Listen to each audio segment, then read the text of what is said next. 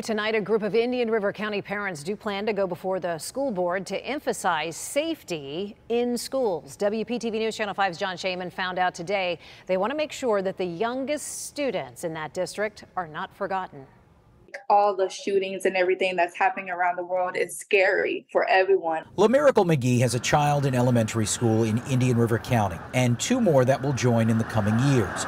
So she and some other moms under the banner of the Indian River Parents Group are asking the school board to improve school security. Who knows?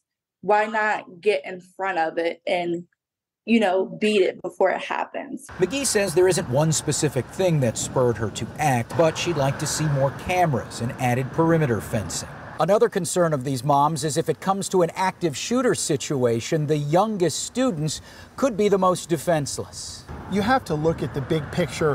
What what can we do uh, quick and fast that's going to help save lives. John Teske, the director of school safety and emergency operations for the district, says they're in compliance with all state regulations and they complete safety risk assessments for all county schools annually.